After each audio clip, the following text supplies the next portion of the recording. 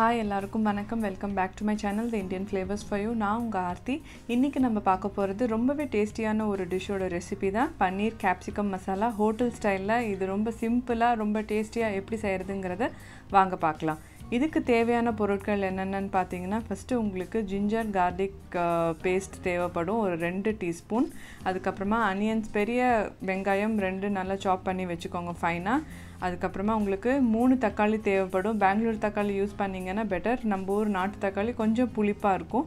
So இதை Blanche பண்ணி அரைச்சி வச்சுக்கணும். பிளான்ச்சிங்னா ஒரு டென் டு ஃபிஃப்டீன் மினிட்ஸ் சுடு தண்ணியில் நல்லா கொதிக்க விட்டு அதோட தோல் எடுத்து மிக்சியில் அரைச்சி வச்சுருக்கணும்.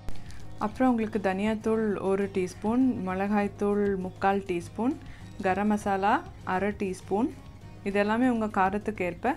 அதுக்கப்புறமா கசூரி மேத்தின் கடையில் கிடைக்கும். அது வந்து ஒரு டீஸ்பூன் எடுத்துக்கோங்க. பன்னீர் நான் இங்கே டூ ஹண்ட்ரட் கிராம்ஸ் யூஸ் பண்ணியிருக்கேன்.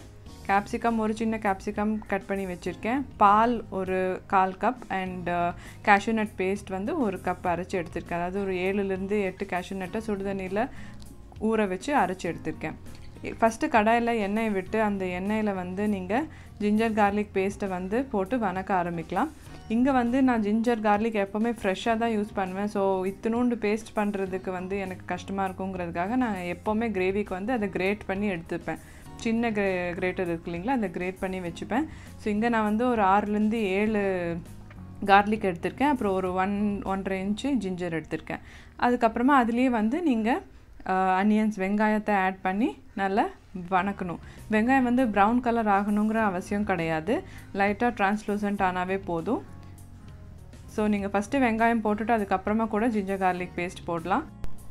கம்ப்ளீட்டாக அந்த பச்சை வாசம் போகிற வரைக்கும் ரெண்டுத்தையும் நீங்கள் நல்லா வணக்கணும். அது வணக்கினதுக்கப்புறமா கேப்சிகம் ஆட் பண்ணிக்கலாம். கேப்சிகம் ரொம்ப வணங்கணுங்கிற அவசியம் கிடையாது. உங்களுக்கு ராவாக இருக்கிற கேப்சிகம் பிடிக்கணுன்னா கடைசியாக கூட நீங்கள் ஆட் பண்ணிக்கலாம். எனக்கு கொஞ்சம் சாஃப்டாக இருந்தால் தான் பிடிக்கும். ஸோ கேப்சிகம் கொஞ்சம் வணங்கினதுக்கப்புறமா அந்த டொமேட்டோ பியூரியை நான் ஆட் பண்ணி நல்லா மறுபடியும் மிக்ஸ் பண்ணணும்.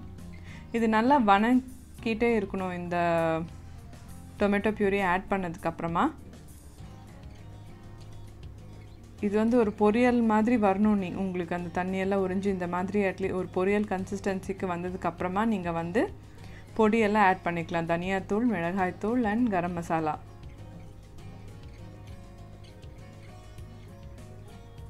இது இந்த மாதிரி கொஜ்ஜு மாதிரி ஆகிற வரைக்கும் நீங்கள் அதை வணக்கிட்டு இருக்கணும். அதுக்கப்புறமா தான் இந்த இன்க்ரீடியன்ஸ் எல்லாம் ஆட் பண்ணணும். அதுக்கப்புறமா நம்ம எடுத்து வச்சுருக்கிற பால் வித் ஆடை. நான் இங்கே ரெண்டையும் கலந்து தான் எடுத்திருக்கேன். இந்த ஸ்டெப்பில் உங்களுக்கு வேணும்னா நீங்கள் ஃப்ரெஷ் க்ரீம் கூட ஆட் பண்ணலாம். பட் நான் வீட்லேயே இருக்கிற பாலும் ஆடையும் கலந்து ஒரு கால் கப் நான் ஊற்றி கிளறிட்டுருக்கேன். இது எல்லாமே நீங்கள் மீடியம் ஃப்ளேமில் தான் செய்யணும். அதுக்கப்புறமா உப்பும் ஆட் பண்ணிக்கோங்க. சின்ன டிப் என்னென்னா பால் கொஞ்சம் வார்மாக இருந்தால் உங்களுக்கு தெரியாது.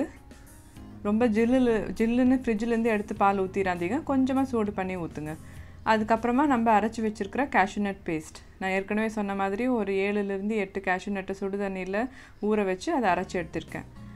அதுக்கப்புறமா நீங்கள் பன்னீர் ஆட் பண்ணிடலாம் இதோட.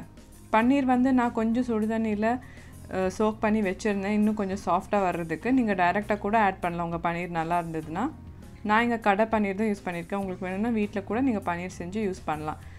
தேவையான அளவு தண்ணி ஊற்றிட்டு இதை நல்லா கொதிக்க விடுங்க. அதுக்கப்புறமா நம்ம எடுத்து வச்சுருக்கிற கசூரி மேத்தியை கொஞ்சம் க்ரஷ் பண்ணி மேலே தூவி விட்ருங்க அதுக்கப்புறமா நம்ம கட் பண்ணி வச்சுருக்கிற கொத்தமல்லி தலையும் மேலே ஆட் பண்ணி நீங்கள் இறக்கிடலாம் இது கேஷ்யூநட் பேஸ்ட் போட்டிருக்கிறதுனால கொஞ்சம் நேரம் கழித்து இந்த கிரேவி கண்டிப்பாக திக்காகும் ஸோ ரொம்ப கடாயிலே திக்காக விட்றாதீங்க கொஞ்சம் தண்ணியாக இருக்கும் போதே நீங்கள் ஆஃப் பண்ணி இறக்கிடலாம் ஸோ உங்கள் சுவையான paneer capsicum masala ready try பண்ணி பாருங்கள் பிடிச்சிருந்ததுன்னா லைக் ஷேர் அண்ட் சப்ஸ்கிரைப் பண்ணுங்கள் I see in my next video till then take care bye